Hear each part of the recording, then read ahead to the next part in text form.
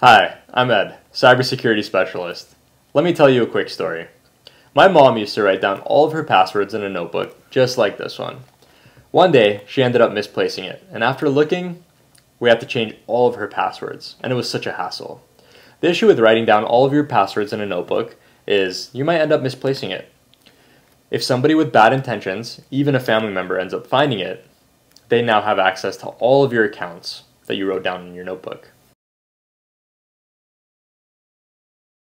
One of the more popular solutions you can use today is to invest in a password manager. A password manager will keep all of your data safe, and even if you lose your phone, you'll be able to recover all of your passwords, something you can't do using a notebook. If you liked and enjoyed our simplified approach to cybersecurity, be sure to like and subscribe for more content just like this one. Also, make sure to share with your friends and family to raise awareness and protect your community.